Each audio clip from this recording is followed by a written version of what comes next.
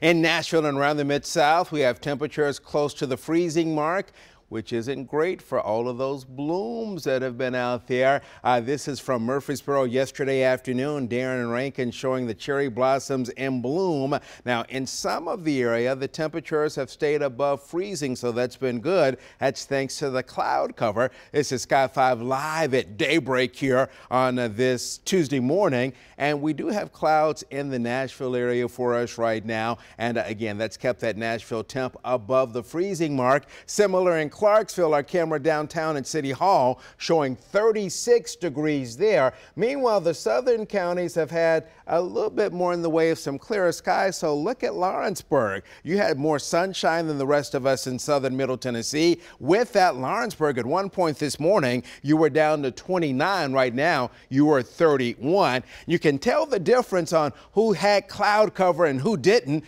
Those who saw fair skies last night have temps in the 20s now from Fayetteville, Huntsville, Savannah, Jackson, Dyersburg. More cloud cover has kept temps at or above freezing for Nashville, Clarksville. Now that Clarksville number there is from the airport at Outlaw Field in Clarksville, 35 Bowling Green, 32 Cookeville. Meanwhile, we do see 28 back over toward the Crossville area.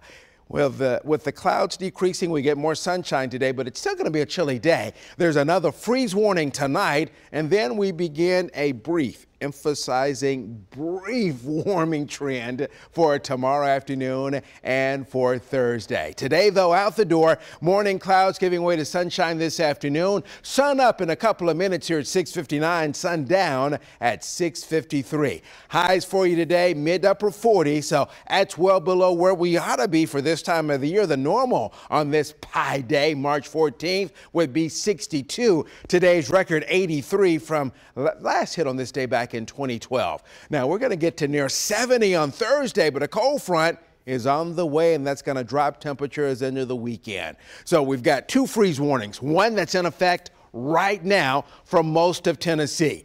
Then at 8 p.m. tonight through 10 o'clock tomorrow, another freeze warning will be out for the area, and that one stretching from Little Rock all the way out toward the ocean uh, back in North Carolina and South Carolina. Here's exact track clouds decreasing for you today. Do want to jump ahead to Thursday.